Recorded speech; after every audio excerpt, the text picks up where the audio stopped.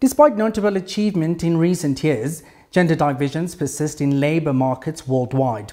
Female participation in the workforce lags behind male participation, resulting in substantial gender wage disparity and a disproportionate representation of women in the formal sector and among those living in poverty. Many countries will still enforce legal restrictions that hinder women from fully realizing their economic potential. While achieving gender equality is an important development objective, it is also crucial for economic growth and stability.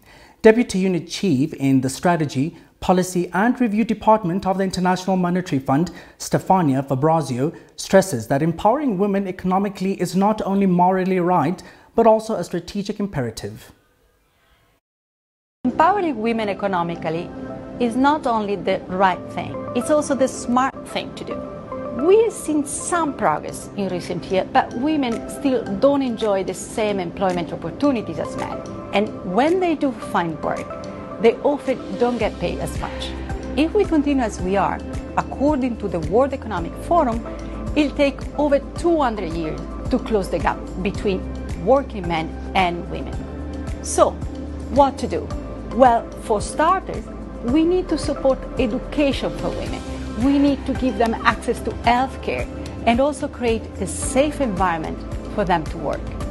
IMF research suggests that education and increased women's labor participation by more than 15 percentage points.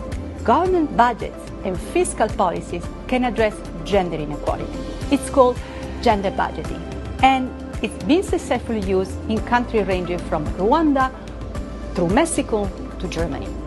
It involves making taxes and spending decisions which have an eye firmly fixed on promoting access to education, healthcare, and economic empowerment for women. The right policies can go a long way to helping women meet their potential, and those policies will create better lives for their family while helping to boost our global economy too, which is good news not only for women but for us all.